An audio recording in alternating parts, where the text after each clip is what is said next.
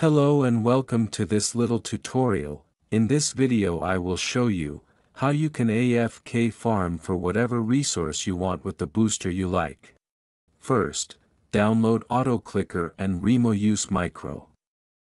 Links to both downloads are in the video description, open both programs in administrator mode, otherwise it may not work in Last Chaos.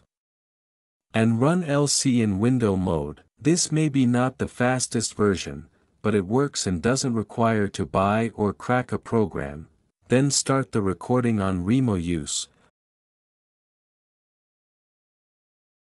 Put the booster on the tool and harvest the resource you like.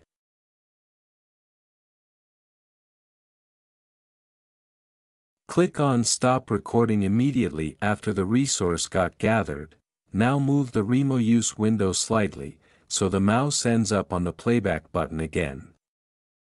Now go into Auto Clicker and set an interval of 10 seconds, match the box repeat until stopped, and go with the mouse on the playback button again and press F6 to start the playback.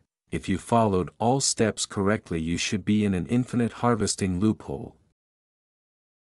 As I've said, this may be not the fastest method, but it's free, easy and legal, have fun and goodbye.